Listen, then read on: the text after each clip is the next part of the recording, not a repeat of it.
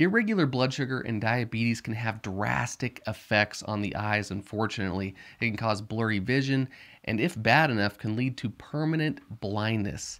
So in this video, I wanted to go over three ways blood sugar can cause blurry vision. Let's focus in.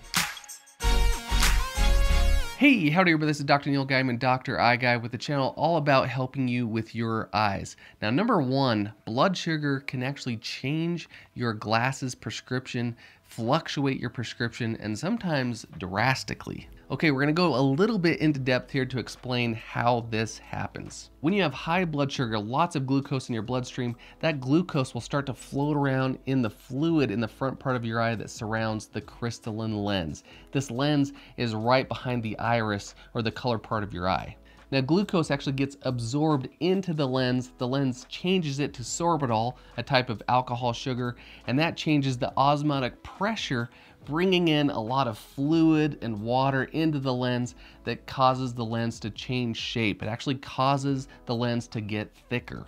And this is why the prescription changes or fluctuates because this lens, the thickness of this lens is changing or fluctuating.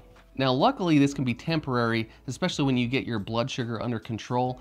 It will get rid of that fluid that got sucked in there and get rid of the sorbitol and everything. And so that lens can go back to its regular shape and your prescription can return to normal. Number two, it actually can increase the risk of cataracts and increase the risk of cataracts in the earlier ages. Cataracts happen in that same crystalline lens that we just talked about. It actually can cause clouding of that lens, which blocks your vision. Some reports show that diabetes and blood sugar can actually double your risk of getting cataracts. And the reason why this happens is along the same lines as that osmotic pressure that changes when your glucose gets absorbed into the lens. It will change the shape of the lens, and over time, that constant change to that shape can actually lead to cataracts or clouding of this lens. Now, diabetes and blood sugar is definitely linked to a type of cataract called cortical cataracts also a specific one called a PSC or a posterior subcapsular cataract. It's a mouthful.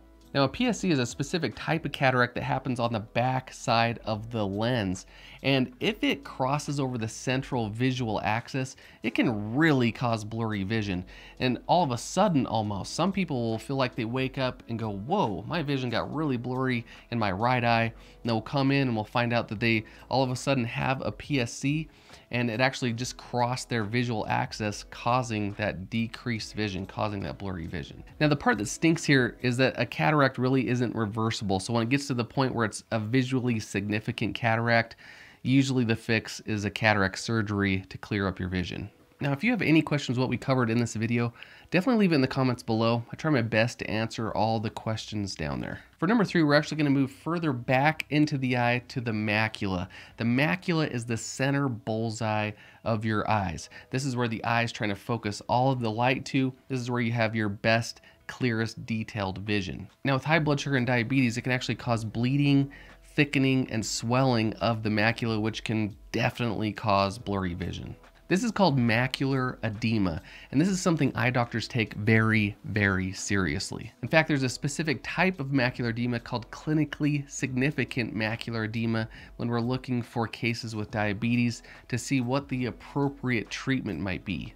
And depending on the severity, treatment could include a laser, laser photocoagulation, or an injection to help get rid of that fluid or that swelling at the macula. Now, not only could this cause significant blurry vision, but it can also distort the vision. Where you once saw straight line, sometimes they might be curvy or wavy. And for this reason and the other reasons, it is very important that you go in for your eye exams.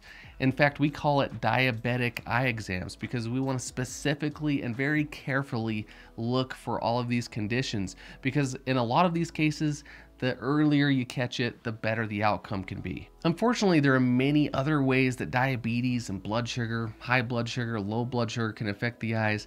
So again, definitely get your eyes checked, make sure everything's great.